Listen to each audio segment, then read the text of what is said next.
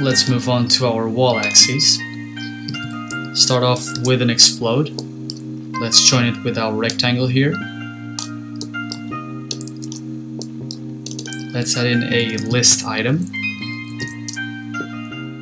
Join it through our segments, and uh, we want to get we want to get ourselves a negative value and a new positive one. And just to make sure we're using these correctly, we will now apply a middle curve, or curve middle in this case. Copy and paste, put it there, and they should be in the proper alignment of the wall, like so. Next up, let's get ourselves a line, and let's connect these two middle points. Let's add in a connect curves. Connect curves. Okay, let's place in our line. Okay, looking good. Um, for the part of the continuity, let's add in a double dash 2. Place it in there. Now we want to add in a toggle boolean, or boolean toggle. Let's place it into our close. And as for the bulge, I'm, I'm going to give it a fixed value of 0.5, which is easier. Of course, do not forget to flatten these. Alright, okay, looking nice. Next up, let's flip this curve. Let's join this into a new group. I'm gonna call this one wall axes. Gonna hide these.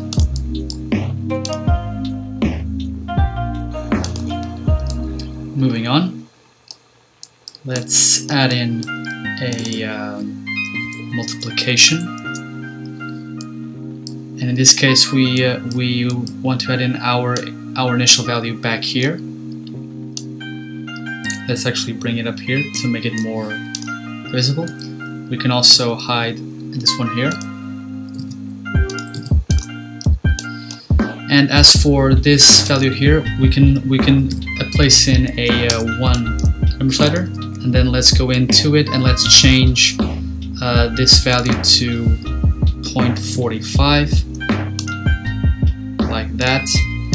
We uh, don't want it going going over the um, the turret's um, half half width. So this this this range of values will do will do perfectly. Okay, next up we want to add in a negative value, and also add in an offset curve, and now we want to place in these values, like this. Let's bring this up to the front, and now we can connect our curve into there to make our proper offset. Like that, okay. Mm. Okay, next up, we need to make a dispatch. Like this, let's flatten these uh, values here. And now we can make a ruled surface. Looking nice. Whenever there's the, this kind of uh, crossing, my advice is always to either move your your points or just change this uh, this height to a to a higher number. So in this case, 15 should should do it fine. Next up, we want to place in a uh, region trim with uh, regions. Okay, and we want to also pick up on our on our rectangle here and to do this I will add in a geometry I want to join it into there let's bring it all the way up to the front here and now let's connect well actually let's copy and paste this first uh, let's flatten all of these values so let's flatten curve region and here we'll do the same thing so curve and region like so. And uh, in this case, we want to add in our ruled surface to the region area. And we want to add our offsetted curves into the curve area here. As for this geometry, we now want to place it into the remaining slots. Okay, looking good, looking good. Next up, we want to make a uh, join curves, and we want to place in our outside value of uh, both of these components. We can now also hide all of these. Let's flatten these down, make it easier.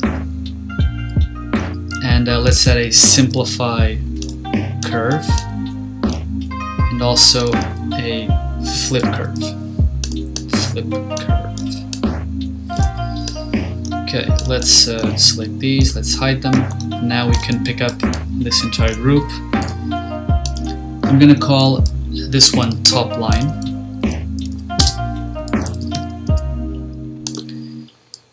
yeah, that's our uh, top line. To make our bottom line, let's start off here with a project. Here, let's join in our curve. We can now hide this one here. And uh, in this case, we want to make to place in a new brep, and let's reassign our current surface here. Now let's do a bounding box.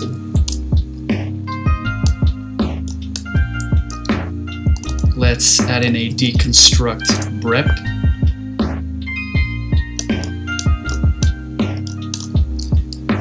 And let's do a list item.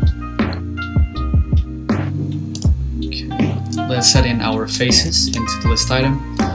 And uh, let's place in a value of 4 into the index just make sure that the face that is selected is your uh, bottom one. And we can place that into our brep. Should go under there. Tidy this up nicely. Okay. Next up, let's add in an offset, offset curve, placing our curve there. And um, I'm going to place in a value of about 5 for our, for our distance. And uh, a flip curve once again. Select the entire group, make a group. We can call this one bottom line.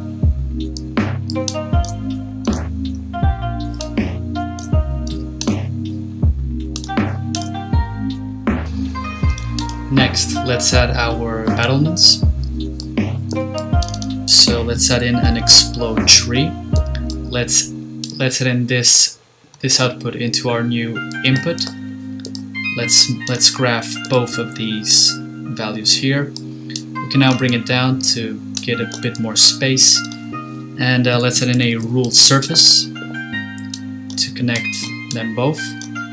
We should have roughly eight uh, surfaces here exactly. And uh, next up, we need to place in a divide domain squared. Let's add this value into here. And now, depending a bit on uh, how how you want these uh, elements to uh, be, it really it it will really depend on which number you want. But uh, but in this case, for the for the v count, I'm just going to, to use one, and for the uh, u count, I will use 25 to make the proper division. Next up, we place in a surface box. We can we can then add in our domain and our surface. Yeah, just like that. Okay. Let's uh, hide these, which we will not be needing. As for the height, I'm going to place in a 10.0, but uh, since that is really high, I will bring this value down to, let's say, 1. Should be about enough. Actually, I'm going to bring this up to about 2. Next up, we need to add in a uh, box morph. Box morph. Let's place in this value as our target. Let's add in a new brep. And in this case, we want to assign our battlements right there. Bounding box, place it into here, place the reference into there, the geometry into here.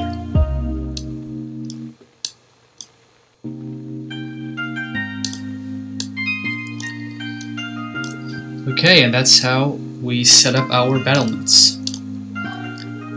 Let's, um, actually I'm gonna, gonna graft this.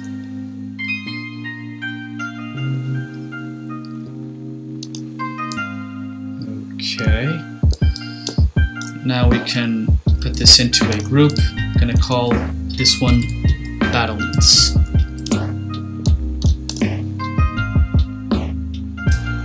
To bring it all together, let's go back here to our previous group here for the turrets. Let's add in a geometry. Place in the geometry there can now hide this. Let's move this one all the way up to the front. Down here would be best. Um, and now to make the actual wall, since this is essentially floating, we just need to add in a loft here. And uh, in this case, we can actually make something a little bit simpler, which is we can place this curve into here. We can uh, get rid of these and now simply add them into our curves here. Let's flatten the these down and they should give you the result you are seeing here now. So now let's give it some color. Let's add in a preview or a custom preview. I'm gonna add in a swatch. I'm gonna give it the uh, trademark color here like that. Let's add it into here. Same thing with this one, and of course with this one.